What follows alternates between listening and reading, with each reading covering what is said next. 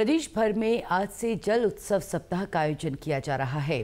16 जून तक चलने वाले इस कार्यक्रम के दौरान जल संरक्षण एवं संवर्धन को लेकर कार्य किए जाएँगे। इसी कड़ी में चंपावत ज़िले के चारों विकास खंडों में मिशन मोड के तहत वृहद रूप से कार्य किया जा रहे हैं।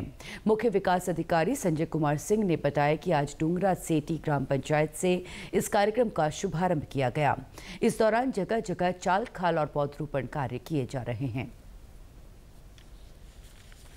दिनांक 10 जून से 16 जून तक जल उत्सव कार्यक्रम का आयोजन हो रहा है, जिसमें आज डुंगरा सिटी के अंतर्गत जल संरक्षण का कार्य प्रारंभ किया गया है।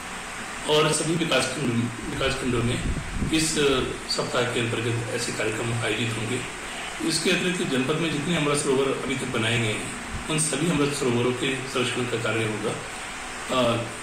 जो हमारे जनपद में अमृत सरोवर हैं, उनमें सात सरोवर ऐसे थे जिनमें सिल्ट जमा हो गई थी, जिनकी सिल्ट सफ़ाई का कार्यक्रम भी इसी सप्ताह के अंतर्गत होना है। इसके अतिरिक्त जनपद के अंतर्गत 40 ऐसे जल स्रोत दिए गए हैं, जिनके जो संकटग्रस्त हैं या जिनमें पेयजल की पेयजल की मात्रा कम हो गई है, उनके संरक्षण के लिए भी यूकोस के माध्यम से विस्तृत कार्य योजना बनाई गई है।